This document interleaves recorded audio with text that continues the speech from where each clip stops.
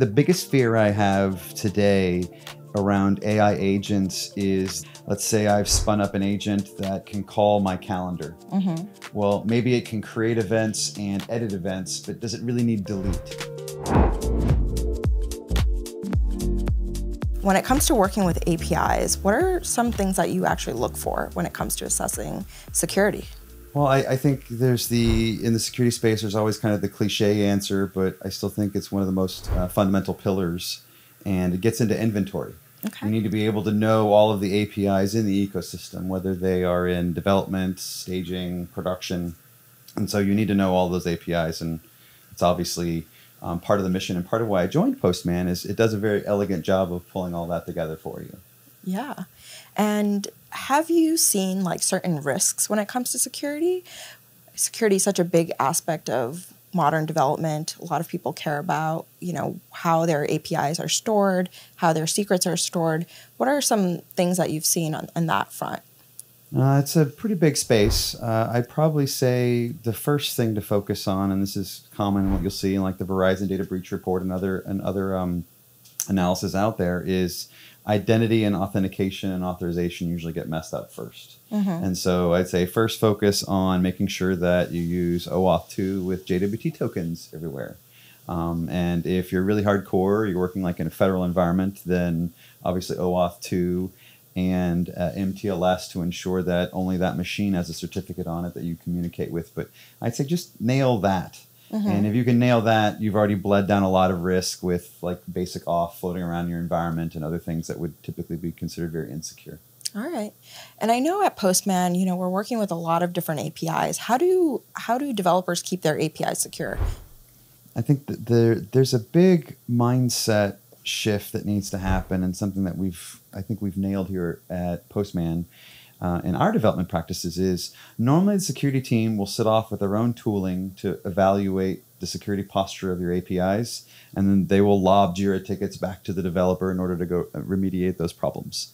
But um, what we've done a really good job of is integrating a lot of our security checks directly into Postman itself, mm-hmm. and then hook that into our CI/CD flow, mm-hmm. and then your builds pass or fail based on the security checks that we actually run. Right. Um, more often than not, in the security space, um, I'll pick on an example tool, which is a fantastic, uh, fantastic pen test tool, uh, but, but it'd be like Burp Suite, and we'd say the developer would say, "I'm done." They'd hand it over. Now the security team would run off with Burp Suite in order to assess that tool or that um, application that the development team has built.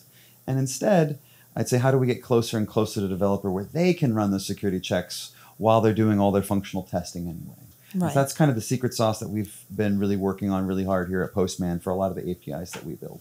Right. And there are a couple of security features that I've seen, um, like Secret Scanner, our vaults. Anything you can share on that front? Yeah, I, I think this is a common topic particularly around Postman, is the handling of secrets. Mm-hmm. And I think with the secret variable type we have, really focused on masking uh, secrets, and Vault really doing what we would consider traditional secrets management with um, any secret type manager, such as like 1Password or HashiCorp Vault, or even our own Postman Vault, is shifting a lot of the practices that people have been using with variables into the vault itself and really reminding people to use that as the best practice. Um, but that's really kind of the direction we're going and where we've been investing pretty heavily. Cool. So, when it comes to development, we all want to think about speed and developing APIs faster, developing products faster. Where do you think security plays a role in that? Should it be one of the first forefront um, things that developers should consider when um, creating APIs and applications?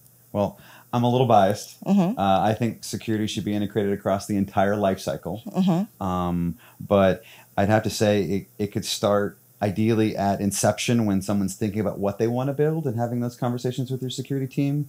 But it should definitely permeate into using specs to ensure that APIs are built well mm-hmm. and working, continue to work a way across the entire ecosystem into um, security tests that are integrated into your CI/CD pipeline, all the way out to even getting real-time monitoring into your APIs mm-hmm. um, with any platform out there. Although we've just announced Insights, so I'd say that's probably a great way to get insight into the performance of your APIs, but also the security ramifications of it. Um, so I'd recommend that but there's lots of other tooling in the space that could potentially help you as well. But then you have kind of the full life cycle of your API and um, and insight into where security issues could crop up. All right.